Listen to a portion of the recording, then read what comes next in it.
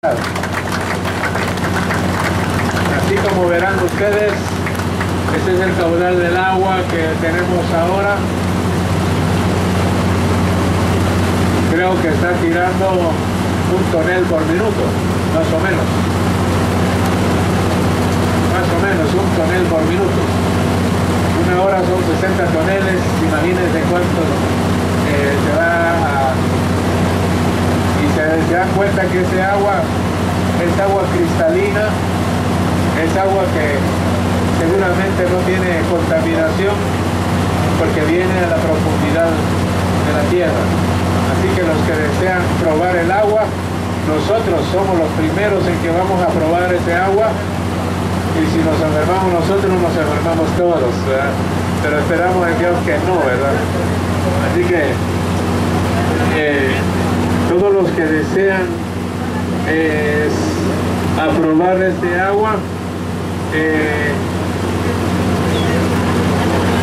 ahorita vamos a dejar el tiempo al señor alcalde para que él además tiene su intervención después solo que ahorita solo para que nos dé a probar el agua. Muy bien, buenos días a cada uno de ustedes, queridos uh, hermanos, pastores, autoridades también, tanto las alcaldesas auxiliares como alcaldes auxiliares, también a los de la autoridad de acá de Chuchucá Alto.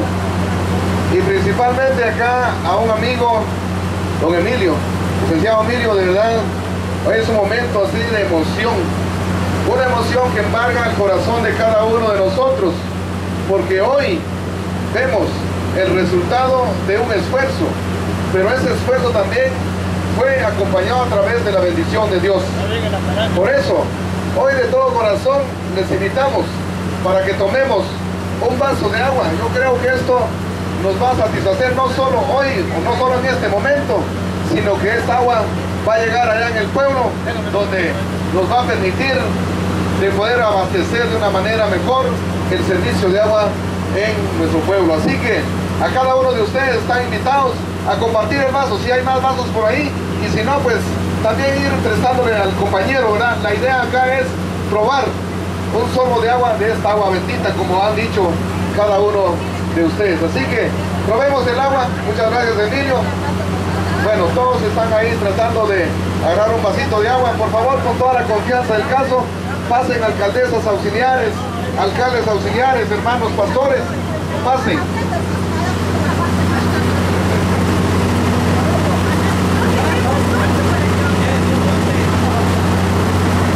Muy bien. En un acto tan importante, Emilio, algunas palabras creo yo para tomarnos esta agua, ¿verdad? Yo creo que es una gran bendición de Dios. Usted conocedor de, los, de las dificultades que encontramos acá. Yo creo que el hecho de tener un paso acá, eso significa mucho para nosotros. Emilio, sus palabras para esta mañana. Muchas gracias, señor alcalde. Agradecemos especialmente a la comunidad también que nos ha brindado todo el apoyo que nuestro equipo de trabajo necesitó para realizar este, este trabajo eh, gracias a las alcaldesas auxiliares, alcaldes auxiliares, miembros del comité local de Chuchucá.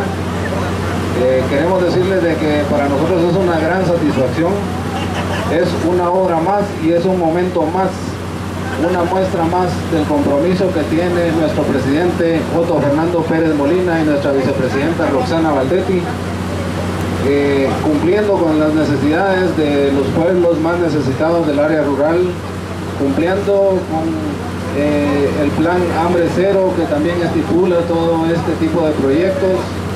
Queremos decirles que por instrucciones de nuestro gerente de Infom, el licenciado Lester Winter, también estamos aquí haciendo acto de presencia y muy contentos porque eh, estuvimos desde el inicio, estuvimos desde la creación de este proyecto, viendo los esfuerzos de no solo del señor alcalde Mardoqueo Cancash, sino también viendo el esfuerzo realizado por los señores diputados de Chimaltenango, especialmente por el ingeniero Alfredo Cotí, quien estuvo presente también en todas las gestiones de este proyecto.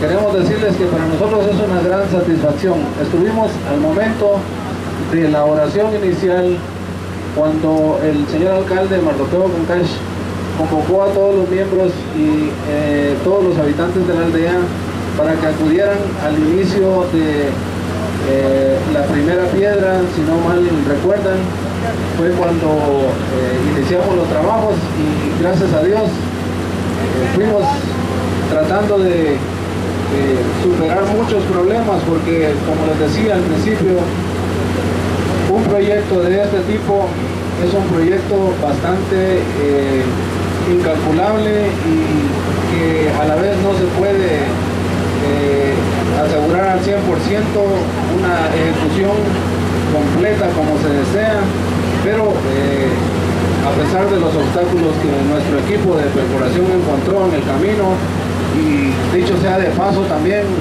quiero pedirles un aplauso para este equipo de perforadores que tenemos acá, los muchachos que hicieron posible este proyecto, igualmente al jefe de grupo del, grupo de perforación, pero eh, pues es una muestra más una gran satisfacción para nosotros.